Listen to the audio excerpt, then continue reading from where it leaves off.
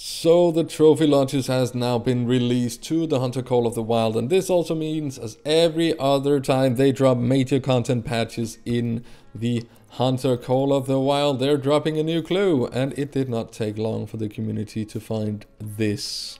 Look at that.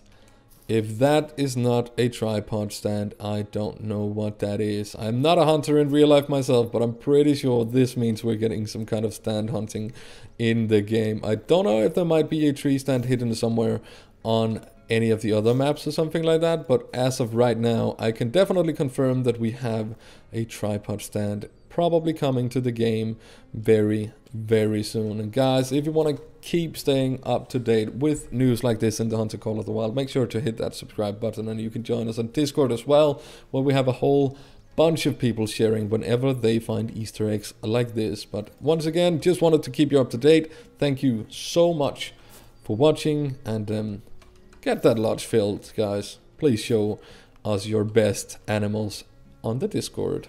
See you later.